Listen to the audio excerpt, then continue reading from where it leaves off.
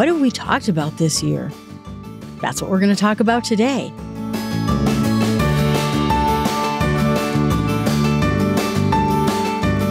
Hello, everyone. This is Jill from the North Woods. If you listen to my other podcast, you know on the anniversary of my podcast, I talk about a recap of the main concepts that we talked about. And then the show notes is a series of links to those episodes in case you're interested in them. But we'll talk about the lessons that we learned. And maybe there's something you meant to try, you just never got to it. So that's what we're going to try to talk about today. The first lesson in all of this was my disclaimer, which just says I'm not a pastor. I have no education in theology or Bible studies. I'm just a regular Jill Schmo who's trying to make her way through the Bible, reading books, learning more about things so that we can figure this out together. I believe that we're on this great adventure that we're taking with God's help to go from paradise to paradise, Eden to heaven. And how can we do this more in line with what God wants, which therefore makes our lives better. So that brings us to our second episode, but we talked about the book Better Than Eden by Nancy Guthrie. I thought this was a great book because it explains probably what God had in mind for the Garden of Eden, that it was our paradise on earth. And sometimes Eden, I think, has the same problem as heaven is, which we talked about in episode three, where people thought it was boring. It was just a big garden. We walked around naming things. But instead, when you look at all our technology and our achievements of humanity, it wasn't that we were not meant to have that in Eden. We were just going to do so in a way that did not include sin, hate, anger, hurt, and all the things that came along with sin.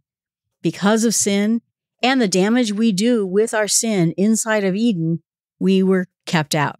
God still cared for us. He sewed us our first clothes and he wrote covenant after covenant in order to be a part of our lives. Now we have the scriptures. So I thought that book was a great start to this podcast. I wanted to show where we're starting from. Then, episode three, we talked about the journey home by using the book Home How Heaven and the New Earth Satisfies Our Deepest Longings by Elyse Fitzpatrick. I love this book.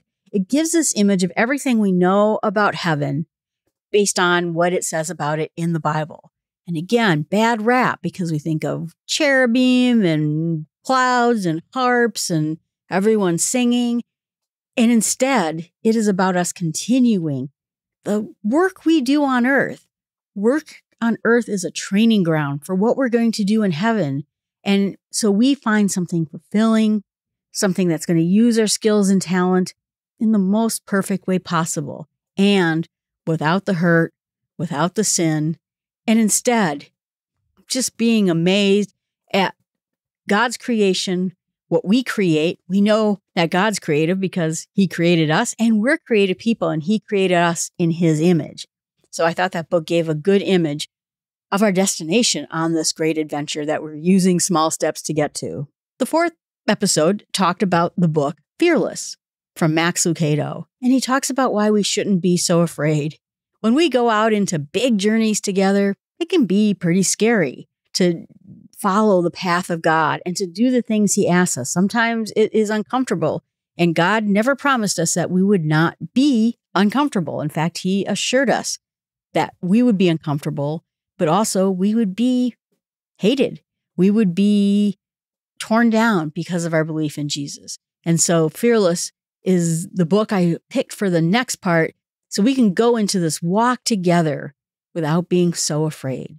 In episode six in December, we talked about the book, My Heart, Christ's Home by Robert Boyd Munger. And this book was the first book I read as a brand new Christian. And I loved the analogy of this house of your soul, I guess, so to speak. And Jesus is walking around and asking, Well, you know, in your entertainment, are you doing things that are ungodly? Why don't you show me? Ooh, what's in this closet? Again, my favorite analogy in this whole book was this closet. And the guy in the book wouldn't want to open the closet to Jesus. He says, Well, there's not so nice things in there, things I don't want you to see. And that was the point. Jesus wants to see the things that we may not want to show him. But if we do show him, he will help us heal from whatever is in that closet. But it goes through the whole house as an analogy of letting Christ in everywhere. Episode 7, 8, and 9, we talked about Christmas using the book from Tim Keller, Hidden Christmas. It was a really good look at what the message of Christmas really is about Jesus, not just a baby, but the king. And I thought it was a fantastic way to look at Christmas in a whole new way. After that point, on episode 10 and 11, I talked about the book Stilte, The Dutch Art of Quietude by Mirjam van der Wit. What a great book it was about being quiet, focusing on the presence of God when we pray, when we study the word. I don't live in a quiet world. I'm always having noise, podcasts. I'm usually listening to books. I mean, you imagine I have two podcasts where I have to read a book every week. So there is something going on in my life at all times. But she expresses the whole point of getting that quiet, that peace, that focus, and even building a room or a place that would make that peace happen. And I kind of just did it recently. I redid the room I record in and I created it into this craft, recording, but also a reading room. And it has the candles and the comfy place to sit. And that was part of what I had in mind is I wanted that Dutch quietness, a place where I could focus on God's word. I just built myself that last week. I'll let you know how it goes.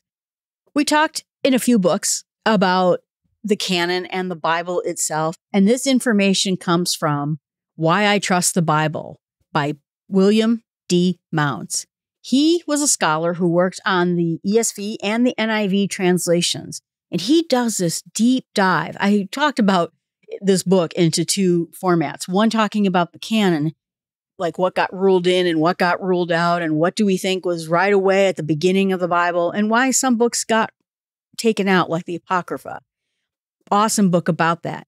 But later on, we did another conversation where he talks about the different translations and what it means to be literal, not literal.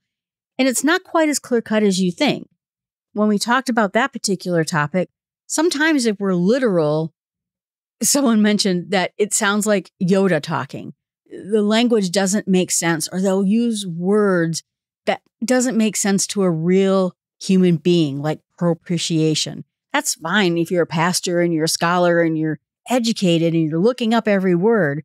But for the mere mortal like us, you might not know what those words mean. So some of the other translations aren't trying to be inaccurate or non literal with the Bible. They're just trying to say things in a way that explains the concept to us in the way that we'll really understand it. I think so far it's probably my favorite book of last year. It really points out the real truth of how we got our scriptures, what's in it, and there's even more topics we can talk about out of this book. So I recommend it highly as my favorite book of the year. We did a couple episodes by a book by Robert J. Morgan called The Red Sea Rules. And those books are basically what did we learn from our time coming out of the Red Sea about God's faithfulness, what he hopes from us, and what rules can we do so that we know how to get out of our own deep waters? What can we do to keep our eyes on God? And I like this book quite a bit. I talked about C.S. Lewis and the Screwtape Letters. It's always a fascinating read because it's from the point of view, you probably know this, of demons, talking about how they can corrupt mankind. And sometimes I think when we listen to God, we hear this, don't do this and don't do that. And it sounds like a lot of don'ts. But when you look at it from the point of view of this is how demons get inside you, or this is how they pry you away from your faith.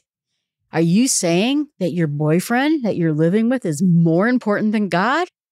That's, you know, or something like that.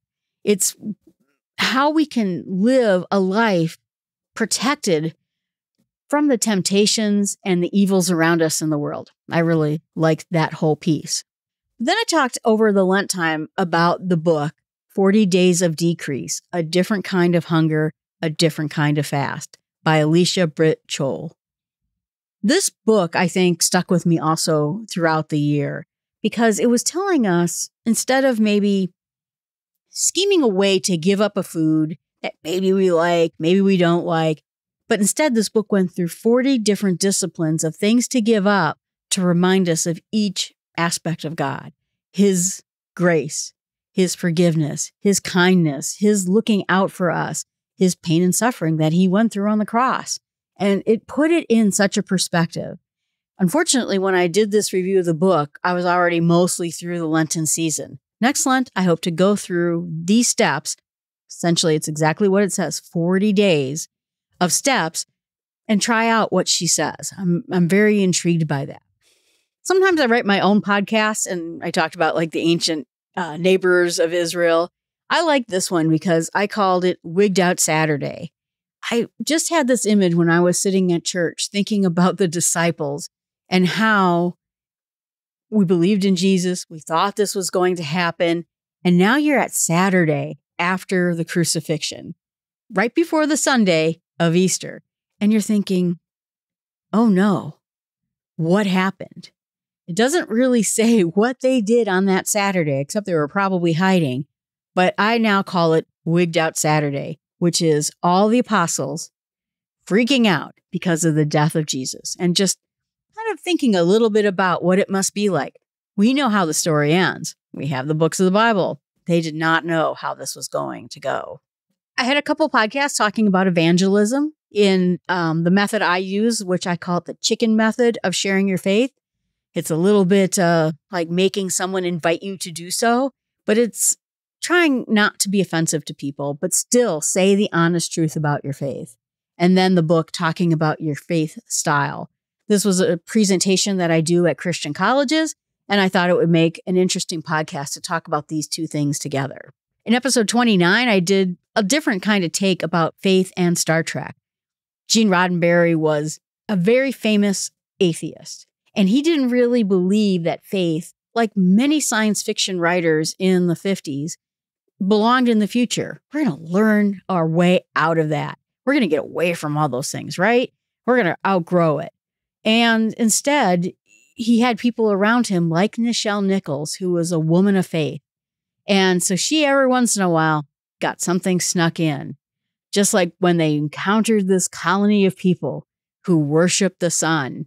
And Spock said, It is illogical to worship the sun in the sky. And Nichelle Nichols says, No, Mr. Spock, it's the son of God. I don't know how she snuck that in there, but good for her but talking a little bit about Star Trek and science fiction and faith. I used um, a children's book called God in Nature by Jessica Dobler to talk a little bit about the miracles of God in nature. One of the ways I feel the closest with God is when I'm out hiking around. I see the systems that God created. We think about the things that God created. Look at that beautiful bird, or look at that weird monkey.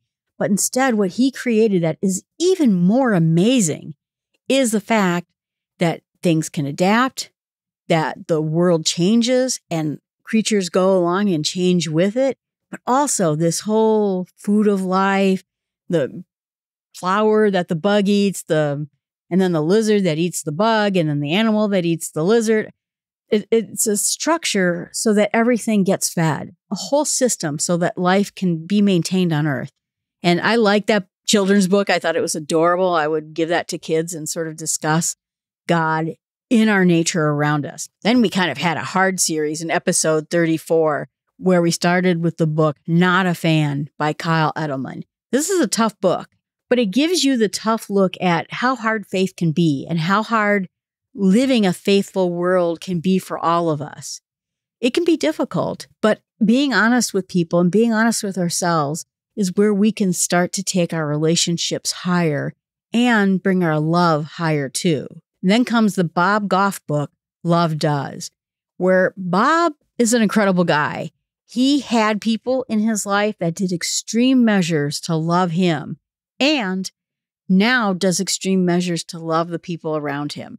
And talking about how we just don't say, I love you, but we show people that true Christian love by the actions we take and the things we do. We had a fun episode, 37, where we talked about Dolly Parton. She wrote a book about achieving your dreams, but it was done in a sense of faith being a woman or a person of faith. And I just thought it was just such a sweet book. I really enjoyed reading that book, especially after we had such a tough series from the other two. Episode 39, we talked about John 3.16 from Max Lucado's book. That was a big book when it came out. I mean, every Christian bookstore had it everywhere, and I never read it. And so I was really glad I got a chance to read it now. And it shows us how just one passage of the Bible just erupts of love that God has for us. And my favorite thing that Max Lucado says is how do you translate the word everybody? Means everybody. I love that. Episode 41, we talked about Sadie Robertson Huff's book about social media. She's one of the Duck Dynasty daughters, and her father is Willie Robinson. And the book is Who Are You Following? Pursuing Jesus in a Social Media Obsessed World. Talks about how can we be better Christians using social media. That doesn't necessarily mean turning it off. It doesn't mean unfollowing people, but it means being a positive representative of Christ in social media, just like we're trying to be in the world, but also protecting our souls while we join in on social media. I thought she wrote a really fantastic book. I can't wait to read more from her. Then in episode 48, just recently, we talked about dangerous prayer. And this book comes from the book Dangerous Prayer by Craig Groeschel. I like the book because it was talking about how, me included, sometimes we pray in a very safe way, all good things. But can we take it a step up and start praying dangerous prayers like, Here I am, send me? Ooh, scary. So I liked that book as well. It really is one of those books that challenges you to just do better. And then we ended the year on episode 49. I mean, I'm not doing every episode that we talked about by Lead Like Jesus by Ken Blanchard, Phil Hodges, and Phyllis Hendry. It gives a good overview, and the book is a lot bigger than what I was able to review of how we can be Christian leaders, how we can lead people not just in church ways or Christ centered ways, but how even at work, we can be the kind of leader who listens, who cares about the people we're leading, and to keep pride and good things out of our own system. So uh, it was a great book to talk about all of us who are leaders. Now, you might think, I'm not a leader, I have a boss. But you know what? You're a leader regardless of what position you're in. So this book teaches a good way to help be a leader to people. I think the world, more than anything, needs leadership. So, we talked about other topics, but I thought those were the high points of last year's podcast. You can let me know what you thought your high point of last year's podcast. Hopefully, you have one. But you can always email me at jill at startwithsmallsteps.com. And if you have a favorite podcast of last year, email me. You can find me at jill at smallstepswithgod.com. And just remember, our way through next year is going to take small steps.